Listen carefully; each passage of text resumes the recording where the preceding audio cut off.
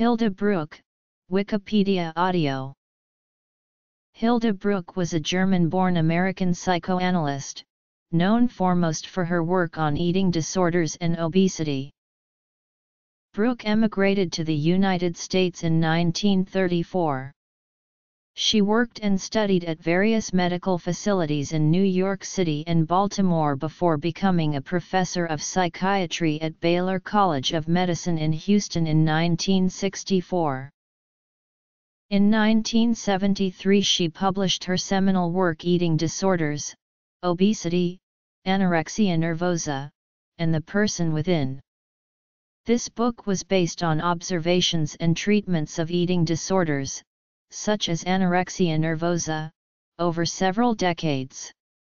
In 1978 she published The Golden Cage, The Enigma of Anorexia Nervosa, a distillation of eating disorders aimed at the lay reader.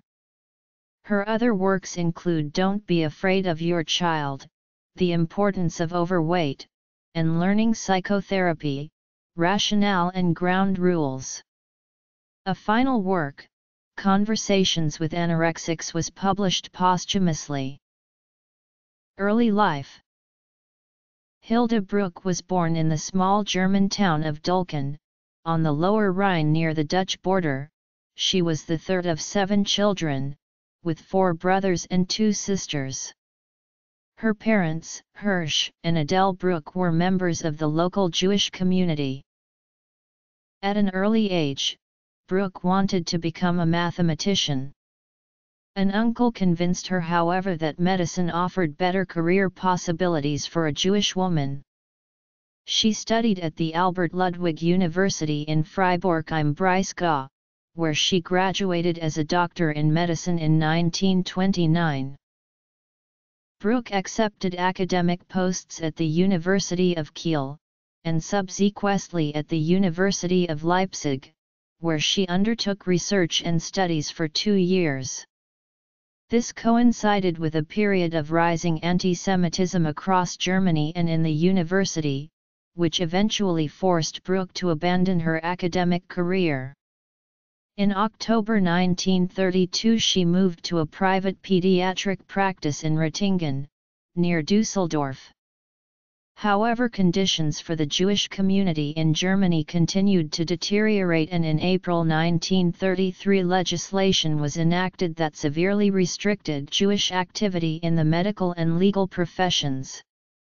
Bruch was persuaded to flee to England in June 1933. She stayed in London for a year, working at the East End Maternity Hospital, which served the Jewish immigrant community in London's impoverished East End.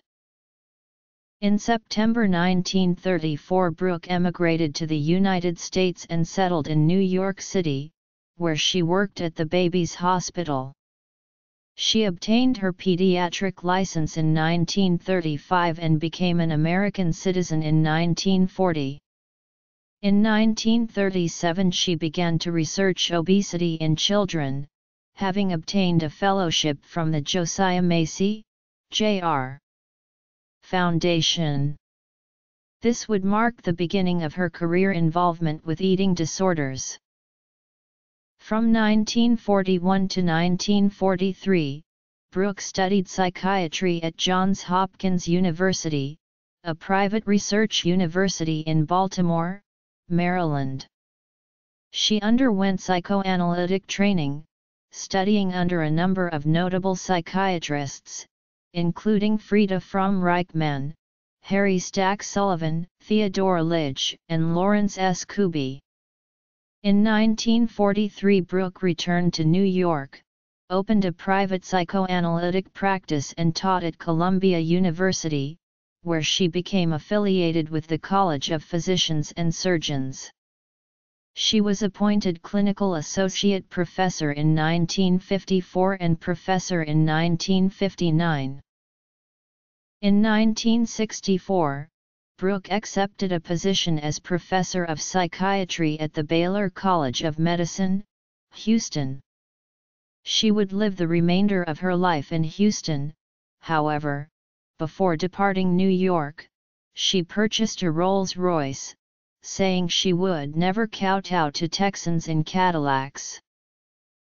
For Bruch, the psychological experience of hunger is not innate, but something that contains important elements of learning.